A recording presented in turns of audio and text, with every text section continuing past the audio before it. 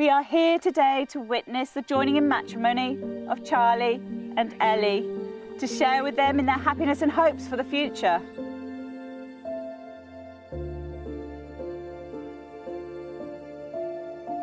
I would like to welcome you all to Gorwell Farm.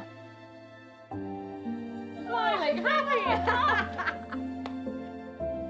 The marriage ceremony provides the opportunity to unite friends and family in one place, to celebrate and share in the joy of the occasion, and to offer Charlie and Ellie support, not just on their wedding day, but throughout their married lives together.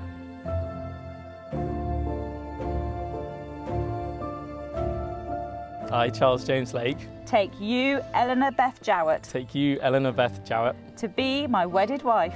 to be my wedded wife. Fantastic. Your turn. Ellie, same question. Ellie, do you take Charlie to be your husband? I do. What was that? question. I'm going to ask you I again. can't remember Ellie, what I had to say. do you take Charlie to be your husband? I do. Thanks. Fantastic. And do you promise to respect, support, and comfort him and remain true to him for the rest of your lives together? I do.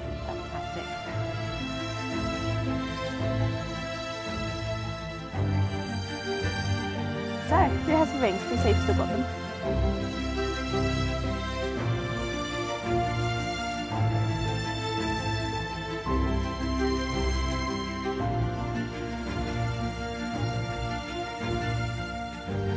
Ellie, I give you this ring As a sign of our love and marriage, as our sign of our love and marriage, as a symbol of all that we share, as a symbol of all that we share, and in recognition of our shared life together. and in recognition of our shared life together.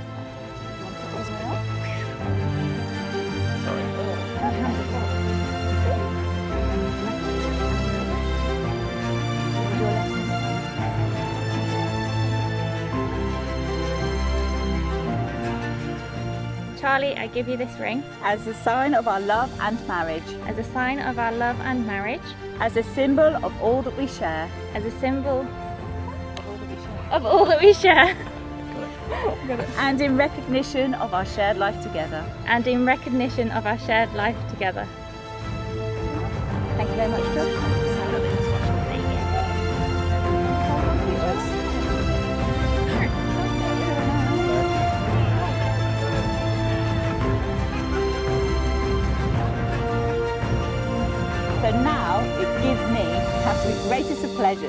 To pronounce you husband and wife. Congratulations! Can we kiss? Yes, go for it. Did it? Go it. That was easy. Oh, we've got one there, one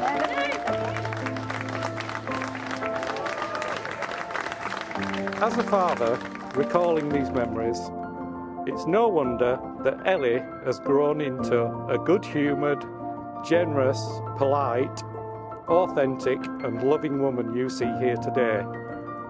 It's my absolute joy, and I say with heartfelt pride that you are and will always be my Ellie.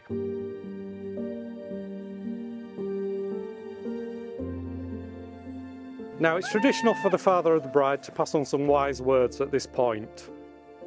However, if I were to try and do this, I'd probably fumble and say something that lacks impact. Instead, I've resorted to going with a quote which goes like this The greatest marriages are built on teamwork, a mutual respect, a healthy dose of admiration, a never ending portion of love and grace. On behalf of my new wife and I,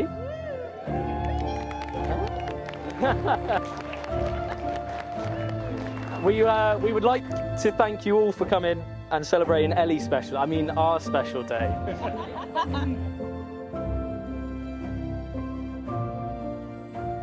I'd like to thank Helen and Andy for all the help you've given us, not only in planning and preparing for today, but more often than not, whenever we're in trouble in day to day lives, the pair of you are always there.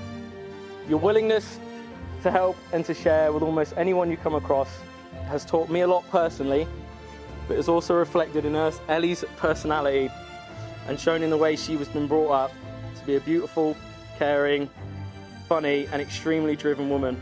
So driven in everything that you do that when you set out a plan to do something, it always gets done, no matter how much of my money it costs. Joking aside, your determination always drives me to be better, and without you, I wouldn't be the man I am today. Now, I didn't really think Charlie knew what girls were until we met Ellie back in school. And I'm still not sure how quiet little Charlie worked up the courage to ask her out. No, she asked me out. That answers that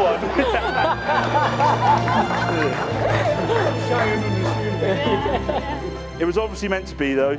And who would have thought all those years ago we'd be here today celebrating the two of you as husband and wife? You two are truly meant to be together, and it's plain to see in how happy you make one another, how much fun you have together. And I don't think you would both be the amazing people today if it weren't for one another.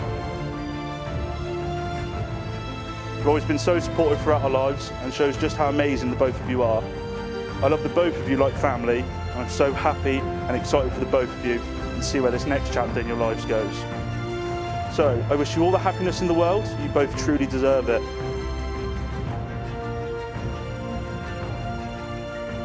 I often think, what if? What if Helen and Andy hadn't decided to move down? What if I hadn't got out of bed that morning? Just stayed there. What if Ellie wakes up and realises how much I'm punching? I'm way out of my league. And yeah, it's still time.